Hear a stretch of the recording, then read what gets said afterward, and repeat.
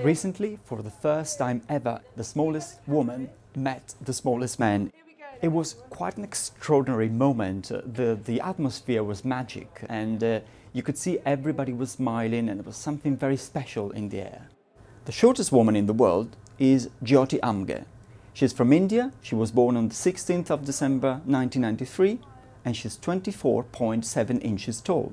Jyoti's record has been recently verified and she's now the new shortest woman in the world. She's coming to London in two weeks where she will be officially honored and she will make it into the new book alongside many, many other record holders. Classic Chandra wave. The world's shortest man is Chandra Bahadur Dangi. He's from Nepal and was born on the 30th of November 1939. He is 21.5 inches tall. And also, he is the shortest man to have ever been verified in history by a medical team. At Guinness World Records, we have the privilege of seeing amazing record breaking throughout the whole year. And in September, we get to reveal the latest and the greatest in the new and updated edition of the book.